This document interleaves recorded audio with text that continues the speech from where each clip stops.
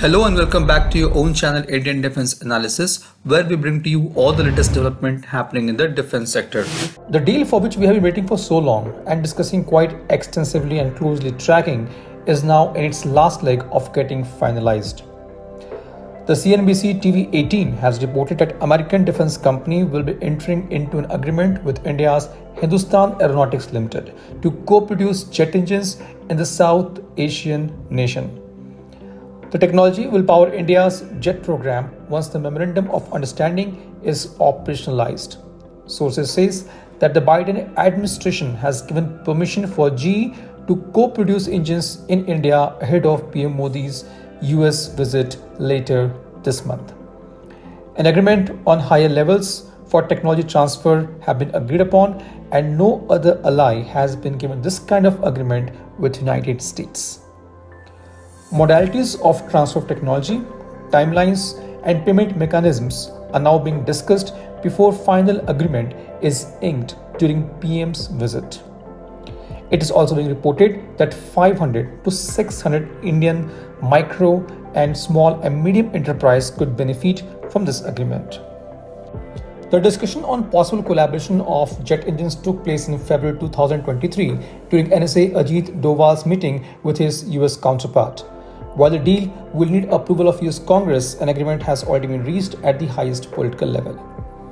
The details of deals were further reviewed by Defense Minister Shri Rajnath Singh and US Secretary of Defense Lloyd Austin during the latest visit to India this week. So in summary, there are no blockers on GE F414 engine deal between India and US which will power LCA Mark II fighter of India. All formalities seems to have been completed ahead of PM Modi's visit to formally ink the deal. The funding for LCA Mark II has already been approved by CCS on September 1st, 2022.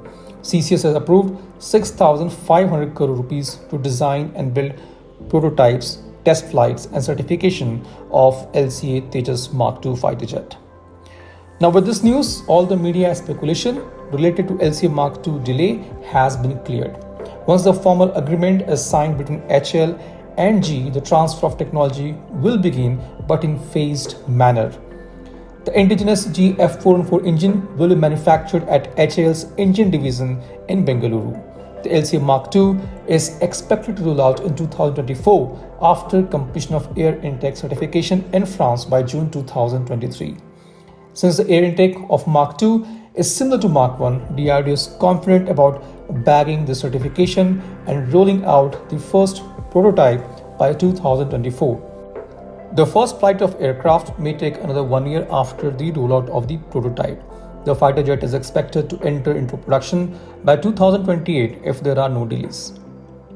LCA Mark II is going to be state-of-art, multi-role, all-weather supersonic fighter aircraft. It will be 4.5 plus generation aircraft with long range and endurance and equipped with contemporary systems, sensors and smart glass cockpit. It has network-centric warfare capability, providing competitive edge through networking of geographically dispersed forces along with multi-sensor data fusion presenting a unified warfare scenario with advanced sensors like AESA radar, IRST, Unified Electronic Warfare Suite, and Missile Approach Warning System.